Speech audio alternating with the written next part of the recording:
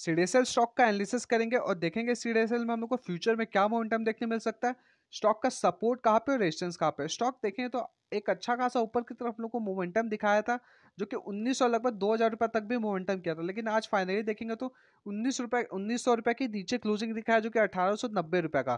तो क्या एक, यहाँ से हम लोग को नीचे की तरफ़ फॉल देखने मिल सकता है सीडीएसएल में या फिर ऊपर की तरफ़ एक अच्छा खासा फिर से टारगेट हम लोग को मिल सकता है। चलिए बात करते हैं। स्टॉक में नीचे की तरफ़ एक सपोर्ट है जो कि अठारह सौ पचास रुपये का सपोर्ट है।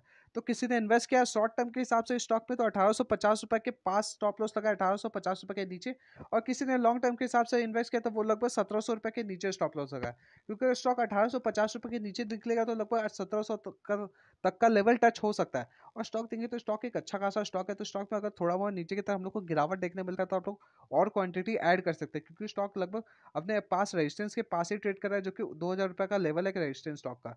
तो स्टॉक लगभग अगर कभी भी वीकली चार्ट या फिर डेली चार्ट जब भी दो हज़ार रुपये के ऊपर निकलता है तो एक अच्छा खासा हम लोग को ऊपर की तरफ़ सीडेसल में मोमेंटम देखने मिल सकता है। जैसे प्रीवियसली हम लोग को जैसे तेरह सौ रुपये के पास उन्नीस सौ रुपये तक का मोमेंटम मिला, वैसा स्टॉक देखें तो दो तीन वीक से यहाँ पे साइडवेज अगर एक बार फिर से टू थाउज़ेंड रुपीज़ के ऊपर निकलता है तो एक अच्छा खासा सीडीएसएल में फिर से टारगेट देखने मिल सकता है। तो शॉर्ट टर्म का टारगेट होगा हम लोग का पच्चीस सौ रुपये का और दूसरा लॉन्ग टर्म का टारगेट लगभग तीन हज़ार से पैंतीस सौ रुपये तक का सी डी एस एल में इजीली देखने मिल सकता है।